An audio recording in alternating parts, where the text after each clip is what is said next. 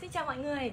Ờ, Hôm nay thì cô Jenny xin được hướng dẫn mọi người cách sử dụng và đọc cuốn sách Mẹ cùng con học nhé. Do cô Jenny uh, biên soạn thì nó sẽ như thế nào và mình cách cách áp dụng trong cái việc tương tác với con sẽ như thế nào và các mẹ thì sẽ phải làm những gì. Ok?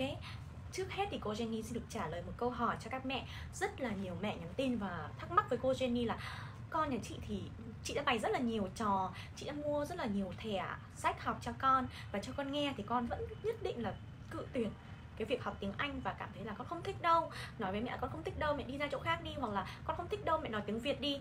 Thì làm thế nào, làm thế nào để mà tránh được cái tình trạng này thì uh, cô Jenny xin được trả lời như sau. Thứ nhất là các mẹ hãy hoàn toàn bình tĩnh và kiên trì trong những cái vấn đề này. Bởi vì sao? Kể cả đối với tiếng Việt thì các con cũng mất khoảng 1 đến 2 năm để các con làm quen và lắng nghe cái đầu vào của các con ấy phải mất từ 1 đến 2 năm cơ chứ không phải là ngày 1 ngày 2 thế nên là đối với tiếng Anh thì khi mà các con đã có một cái nền móng về tiếng Việt vững chắc rồi con đã được nghe rất là nhiều rồi. Thì khi có một cái ngôn ngữ khác nạp vào trong não của các con thì các con cần phải có thời gian thích nghi làm quen và đón nhận nó. Thế nên là hãy cho con nạp cho con vừa đủ để con có thể con có thể uh, chấp nhận một cái thứ ngôn ngữ khác ngoài tiếng mẹ đẻ.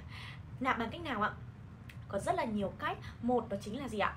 Nghe nghe thật nhiều thông qua đài. Thứ hai đó chính là uh, tương tác tương tác giữa mẹ và con. Và thứ ba đó là cho con xem nếu như bạn đấy không bị nghiện tivi và trên độ tuổi uh, từ khoảng 1,5 tuổi trở lên thì các bạn các mẹ có thể xem 1 đến 2 video một ngày. Nó không quá là um, khoảng 3 đến 5 phút. Một lần thì nó cũng không quá là nghiêm trọng và ảnh hưởng đến mắt cũng như là cái thói quen của con. Đó, tiếp theo đó chính là cái việc mà tạo hứng thú với con. Thì làm thế nào để tạo cho các con cái sự hứng thú trong việc học tiếng Anh? Thì cái câu này nó nó rất là mở, bởi vì là mỗi mẹ sẽ có một tính cách khác nhau, mỗi mẹ sẽ có một cái hoàn cảnh khác nhau và mỗi mẹ thì sẽ có một cái cái mong muốn khác nhau. Thế nên là chúng ta, cái điều quan trọng nhất là mình phải có một cái mục tiêu chung, đó chính là con yêu tiếng Anh. Và mình sẽ làm theo con tức là mình sẽ phải quyết tâm một cái điều rằng là mình sẽ làm tất cả để con có thể yêu thích tiếng Anh vì mẹ tin tưởng vào điều đó. Hiện tại con chưa thích. Thôi ạ à, đúng không ạ? Con chưa thích chứ không phải là con không thích. Mình không nên mình không nên ngay lập tức khẳng định một cái điều rằng con không thích một cái điều gì đó. Bởi vì là 30 chưa phải là tết ngày hôm nay con không thích chắc gì ngày mai con đã vẫn con không con vẫn không thích đúng không ạ? Thế nên là hãy uh, hãy để cho con hãy để cho con có thời gian thích nghi và hãy luôn có một cái niềm tin của chính bố mẹ rằng con chắc chắn sẽ yêu thích tiếng Anh và bố mẹ sẽ làm mọi cách để giúp con làm mọi cách để hướng dẫn cho con học tiếng Anh và giúp con tiếp cận về tiếng Anh một cách vui vẻ nhất. À, đối với lại Jenny thì uh, cái cách mà mình sử dụng cho học sinh cũng như là con gái của mình rất là đơn giản thôi. Những hoạt động hàng ngày của con chơi cũng vui rồi đúng không ạ? Hoạt động này kia học hành trên lớp cũng khá là vui. Nhưng một điều rằng giờ tiếng Anh phải là giờ đặc biệt nhất của con.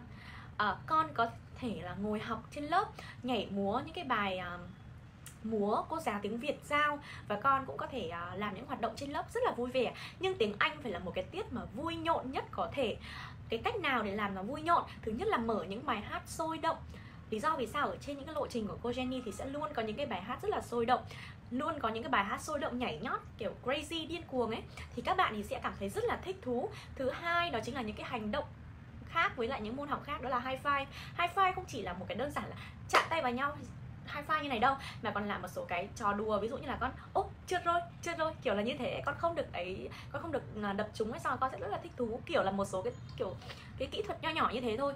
À, thứ ba đó chính là à, hoạt động high five nha. Và thứ ba là những câu khẩu hiệu. Câu hỏi lệnh là sit down I'm sitting nicely I'm sitting nicely. Ok. Thứ tư đó những cái khẩu câu khẩu hiệu thì mình sẽ nói sau. Thứ tư đó chính là những cái niềm vui những cái nụ cười những cái sự tiếp cận thật là đơn giản nhưng mà nó rất là nó rất là sao nhỉ?